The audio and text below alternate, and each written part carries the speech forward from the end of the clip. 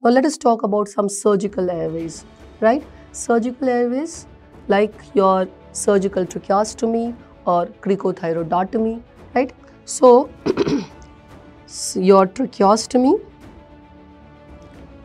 tracheostomy, the surgical tracheostomy, we can also do non-surgical tracheostomy like percutaneous tracheostomy. So we'll here talk about tracheostomy and something called cricothyroidotomy. Cricothyroidotomy.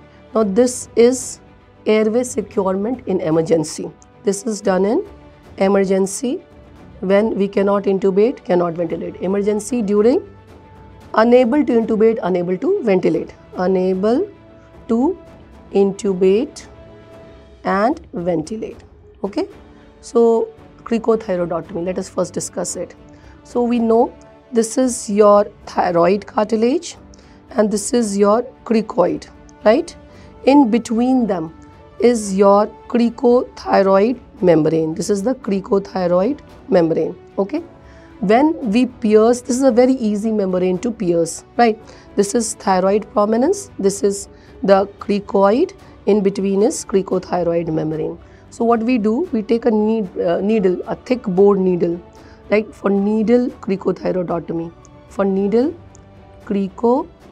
cricothyroidotomy, we take the needle and we pierce the cricothyroid membrane, attach it with a 2 cc syringe and a connector and we do the ventilation. So that is called needle cricothyroidotomy with large bore cannula largest bore cannula which you have like your 14 gauge or 16 gauge.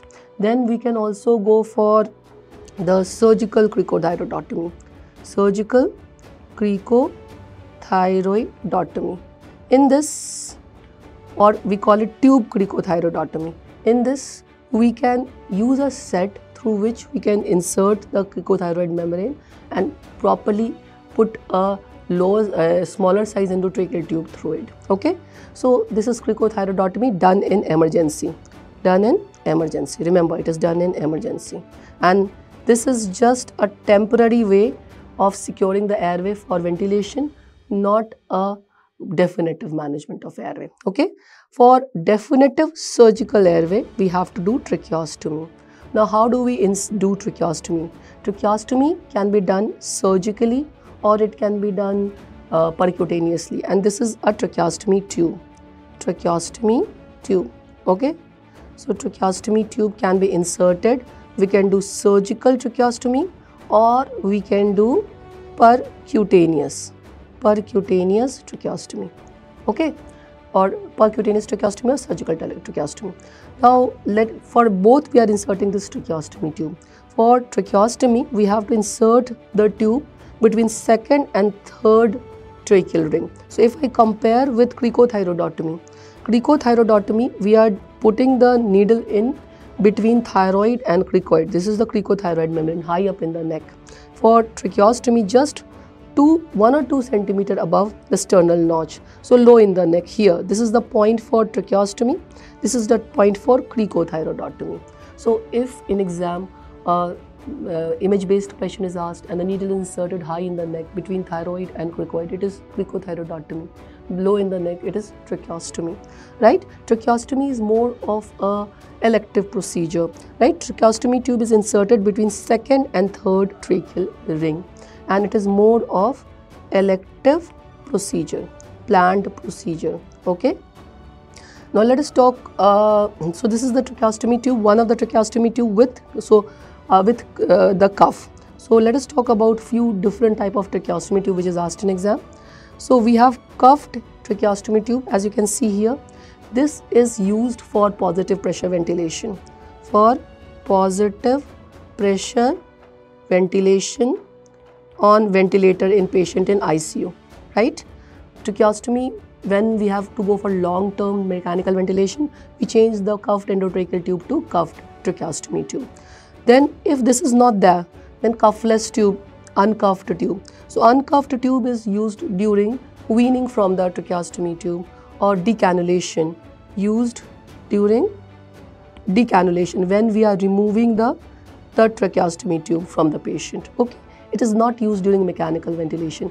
We need a proper seal by a cuff for mechanical ventilation, which is not there with uncuffed tube. Then we have fenestrated tube. Fenestrated tube, there are, there are, let's say, uh, there are openings in the tube.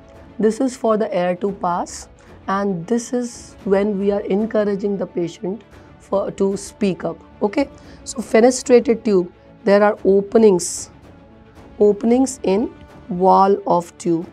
Now this is used for used for voice in for voice production right? So when the patient is encouraged for voice production this is used.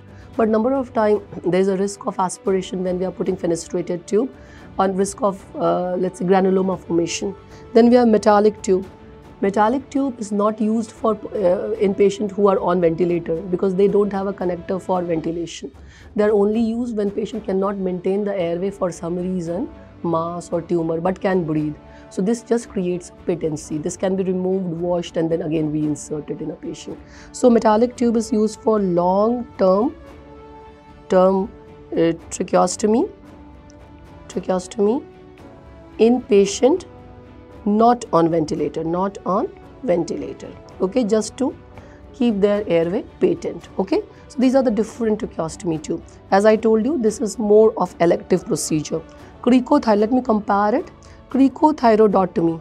This is quick, relatively easy, and this is an emergency procedure. Tracheostomy, this is a hole between second and third tracheal ring. This is not emergency and it is more of the elective procedure and if you will do it in emergency, there's a risk of lot of complication associated with it. So in emergency, we only go for cricothyroidotomy. So these are the difference between cricothyroidotomy and tracheostomy. So this is all I want to talk about in the surgical airways and the airway.